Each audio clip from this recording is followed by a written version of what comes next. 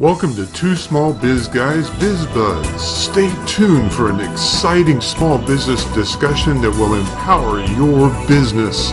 And don't forget your free download of Ray's Crib Notes. Now, on with the show. Hi, and welcome to Two Small Biz Guys, sponsored by Pro Peer Advisory Board. I'm Zen, and I'm Ray. and together we're going to discuss the topic for the day, which is a 12-week year. And I want to make sure that you know we're going to discuss it in very short order. What you want to do is get the crib notes that Ray put together on the book, and you can get those at propres.com forward slash 12 hyphen week. That's P R O P R E S dot com 12 forward slash 12 hyphen week. Now, week is W E E K. Oh, not Yeah, this is not a weak W-E-A-K. subject. That's not, you're absolutely We're talking 'cause- about the 12 week year, right? Well, this is an interesting book. It's one of the better business books I read. And I don't know if it's good or bad, but I read one a month.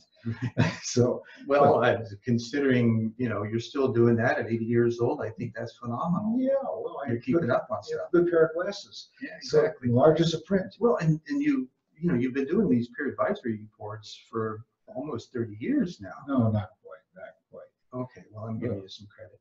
Okay. Part of that, I'm sure, from your perspective, is you want to keep on top of things so that you can be the best facilitator possible. Right, but I also think it's important, one, the- that's one of the aspects of being part of a peer advisory board. And I don't know, I don't want to give all the advertising, but makes you think Oh, sure differently, makes you think differently, and you have to be aware of what's going on. Now, the book we're going to talk about today, the 12-week year, I thought it was very interesting because this author is, says that the, the 12-month year is not really the way to run your business.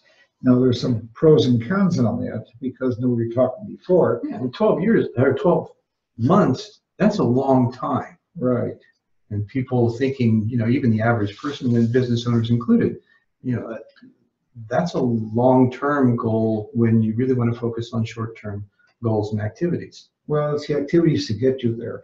But it, but actually, the twelve week year is he's he's talking about breaking your business down into twelve week increments, which is really a quarter.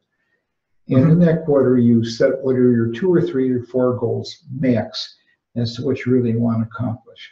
But the reason he talks about using that instead of the twelve month year is that many times if you get behind, you just get turned off, and you really, or you just redo your, you know, your activity.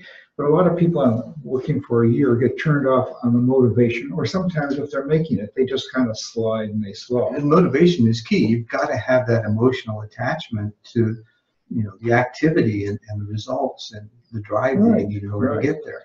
Right, well, people talk about most of these things in terms of sales, revenue, because that's always the easiest.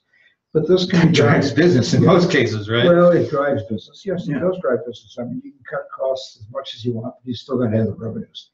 But the aspect is you can use these type of strategy, whether it be in sales or production or service levels, whatever your criteria is, it's gonna enhance the situation of your business. So for example, we wanna take service level. You can say, okay, where do we wanna be in twelve weeks from now on our service level? Where are we now? And one of the aspects that you mentioned before is measurement. And you have to measure. And I think you had a quote on measurement too. Oh, there was, um. I shouldn't ask those, shouldn't ask those hard questions. Well, yeah, I think it was uh, something that from Edward Deming, Yeah, right? He says, you know, um, in God we trust, all others bring data. And you can, and data means your measurements, and you can't achieve things without measurement. right. Well, one of the aspects is they say if you don't measure, you can't manage. Mhm. And, and so the measurements are really a means of measuring where you're going and managing something. But going back to the concepts, and I think this book is really one on driving execution. So the aspect is what is execution? Is execution just getting stuff done or is it getting the right stuff done? Well, ultimately, you'd think it'd be getting the right stuff done because you've, you've got to know what you need to do. You have to plan, not just plan, but you have to strategize what your activities are that are going to produce the results. Oh, somebody's been talking to you. Yeah, Yeah. You know, and, and we haven't talked about it yet, but the leading and lagging indicators. You know, we think that the results, we say, okay, where are we at? How, what, how did we do? and that that's a leading in- indicator when it really isn't. It's a lagging indicator because it's based on the results that you've gotten, not the activities to get there. Okay, well, I, th- I thought that was the most interesting part, is that you know, people always talk about, if you go around and ask business owners, what's the leading indicator? They say, well, my revenues. Mm-hmm. But what there really is, Wrong. wrong, okay, push, turn up the volume. Yeah. But I think that the aspect is that the leading indicators are really the actions that you take to get the revenues. So if you were to say that I'm gonna be a salesman on the street, for example, and my goal is to make so many phone calls a day, you can measure whether you make your phone calls. Right. You can measure whether you're getting your appointments. And those are the activities and, and the results of those immediate activities. Right. If you say my goal is not to do it that way, but I want to do it by internet, you can say I'm going to put up so many messages, I'm going to contact so many people. Mhm. So no matter what your strategy is, you can create the activities to get you there. Now, some people call these habits, some people call them activities, but it's really what are those things that you can measure that you should be doing that's going to get you there. And this, And I would have to say also that it's not just that, it's the, um, the commitment, you know, the, the accountability. And we think account, accountability, you know, is, uh, something that you beat people over the head over to be accountable for, for something. Well, it really isn't. It's telling, it's saying what you're gonna do and then making sure that you do that. Well, in a small, as a small business owner, you're accountable to yourself. So basically, it's a question as to whether you have the initiative and the motivation to really do these things. But as a small business owner, how many do you know that beat themselves up internally because they don't achieve what they thought they Well, could? beat, well, now the question is, does beating yourself up really get you there? Well, no, it doesn't, and, and that's my point, but it's something that we all do. But I think the aspect is if you don't get there, let's say in the first 12 weeks, you're not there. Now you got, you're going to reset the clock for the next 12 weeks. And hopefully you learn from those first 12 weeks when you didn't get to the activities or didn't get to the goal. uh, that you now say, okay, what are the corrective actions I have to take in the next time period to really get there? So now it gives the opportunity to look back, think as to what you really can do, what is most effective for you, both from a habit point of view and from an activity point of view. Mhm. The other aspect is, is what, going back to peer boards, to put a small plug in, is that you do create accountability. So there is a peer pressure Sure. uh, of saying, okay, uh, as a facilitator, you say, I'm gonna get you to be your mentor and your tour mentor. So I can torment you and say, Zen, did you really do what you said you wanted to do? Did you really get there? But in 12 weeks, uh, if you don't get there, all is not lost. You reset the clock and say, okay, I'm gonna move to the next 12 weeks. And you start over. Right, and then you go back and really study, what are the things I have to execute, not the things I have to do. Maybe, maybe we used the term before, killing with the execution. These are the things you really gotta kill to get done. You say, I'm Yeah. gonna really do these, and you keep track of them. And small business owners are, you know, it's kind of the shotgun effect because you feel like you're, you've got so many things to, that you must do and you get busy doing those things, whether they're the right or wrong things, you really don't know because you don't have the laser focus that you need to with the activities that you strategize and plan and execute. Okay, but you use a critical word there. You use the word, things I must do. Mm-hmm. And as a small business owner, when you think about all the things you do do, are they things you really? a lot of do-do. That's right, that's right, you gotta watch your step. Yeah. There's a lot, so many things about the things you really must do, and things that you should do. And the other things you either delegate, put them on the side, have a lower you know, importance. Because if you really want to get to where, what your, really your goals are, whether it be income goals, life goals, or freedom, you know, have more free time, you really have to hit these goals to get you there. Right. Now, the book actually has this in more definition and, and high definition, but Ray has actually taken the book and truncated it into his crib notes. And I got to tell you, I've been reading Ray's crib notes for what, four years now, and they are excellent. So I'd advise that you make sure you get these. They are at, and this is a free download, by the way, they are Did at, you say free? I said free.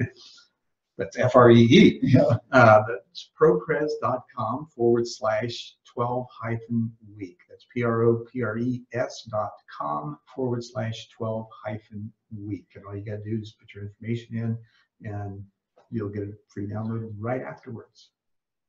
So back to the topic.